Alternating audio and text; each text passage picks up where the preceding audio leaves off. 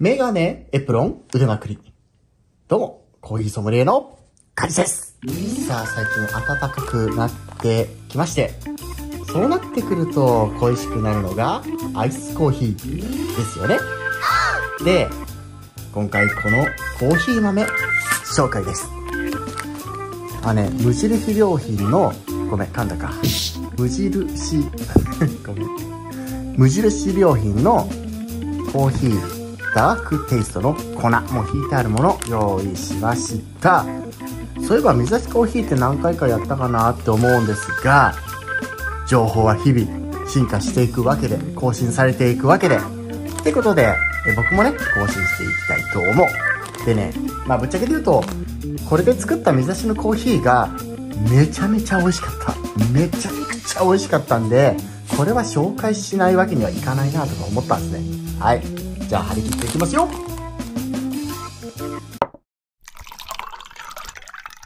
よし早速作っていきましょう。あとこれちょっと見てほしいんだけどあの我らがダイソーさんで水出し用のコーヒーフィルター売ってました。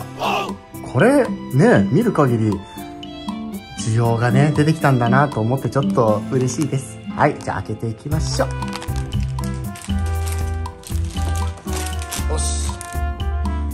これね、あのー、なんだろう、まあ、ひらひらがついてて、中にコーヒー入れて、これをちぎるのね。ちぎって結んで、ポットに入れる。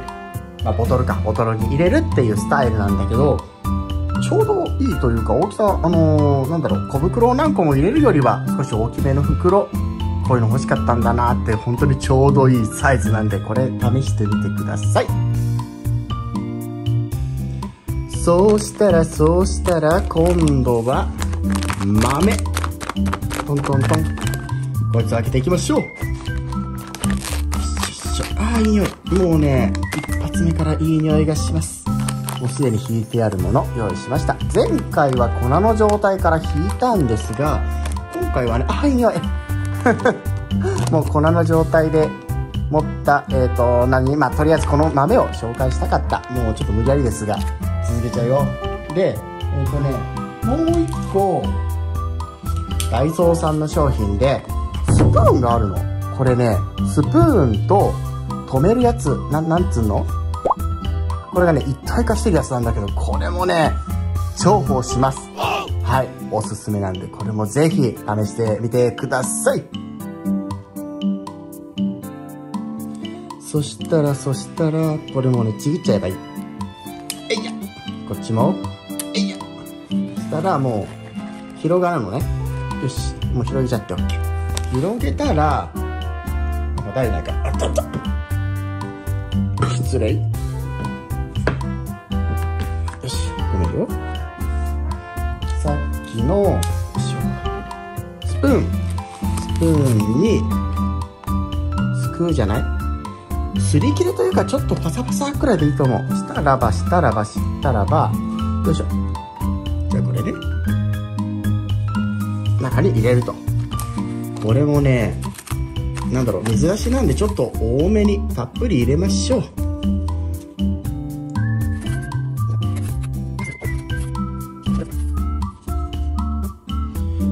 さあどうだ。こんな感じか？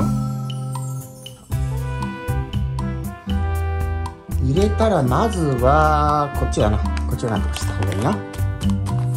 口をねつぼめるじゃない？つぼめてさっきのスプーンスプーンと。いたいたはい。よいしょ。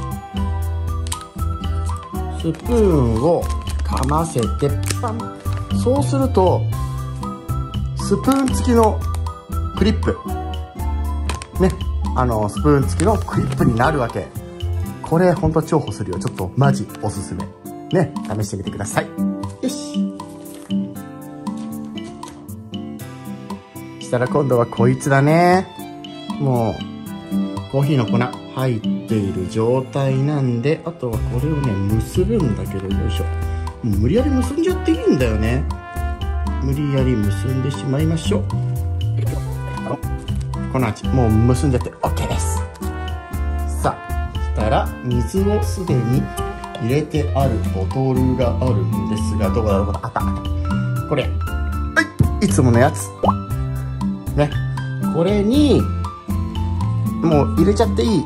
そのまんまスッポーンと入れてしまってよし。上から蓋をするよと。よいしょ。蓋をします。こんな感じねでそしたらこれを一晩かな？まあそのくらいか。あと冷蔵庫で冷やしておくと。それで完成。簡単でしょ？ね。ちょっと時間飛ばしますね。はいはいはい。ほい。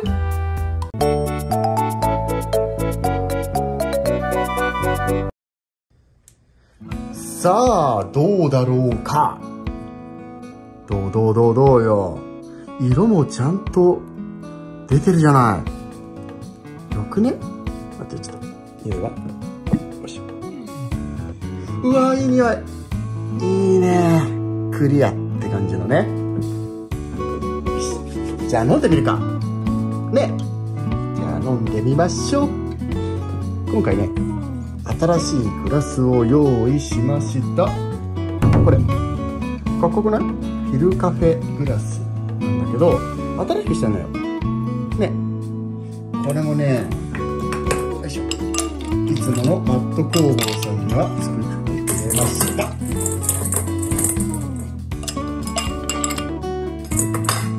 よし。氷ね。あコースター欲しいね。はい。じゃあ早速ついでいきますね。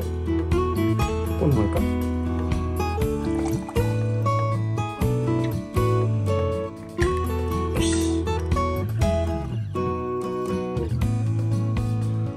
どうよ。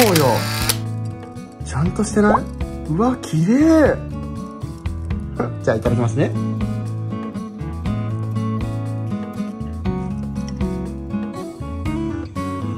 あー美味しいわ。なんて言うんだろう。うんとね思いっきりコーヒーのね濃さボディがねバシッときてるんだけどそれに加えてこうチョコレートのようなナッツのようなそんな雰囲気が後からふわってくるような感じでございます。めちゃめちゃ美味しい。うん。この方法だったらもう誰でも簡単にできると思うんでぜひね試してみてほしい。あーいいね。あと何かないかな。あたたたたね。こういうのあると嬉しいよね。よいしょ。はいこういうのあるとすごく嬉しいと思うんでね。早速食べちゃおう。いただきますいただきます。これ超好きなんだよ。うん。美味しい。コーヒーとの相性も抜群でございます。